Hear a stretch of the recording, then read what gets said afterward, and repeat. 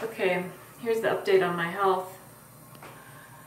Um, shocks to my head, mostly right side of my head. Probably all the shocking sensation is on the right side. Um, feels like there's some type of little network under there. It's being activated at night. It's being activated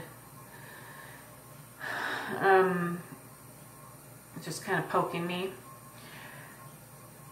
breathing issues that seem to be activated by implants, controlling breathing, swallowing. You know, there's always, there seems like there's always something going on, but um, some stuff is scarier than others. And um, then these attacks to my neck. So this is a new thing.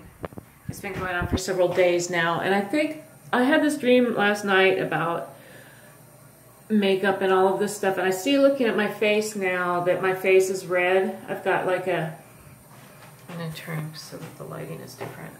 This is my phone with the display half gone. While I'm waiting for my other phone that had the display completely gone to be replaced.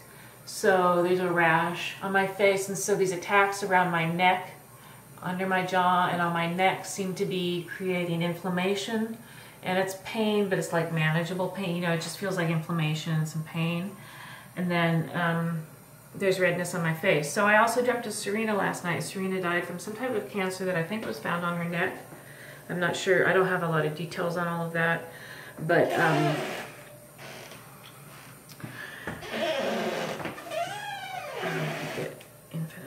Um,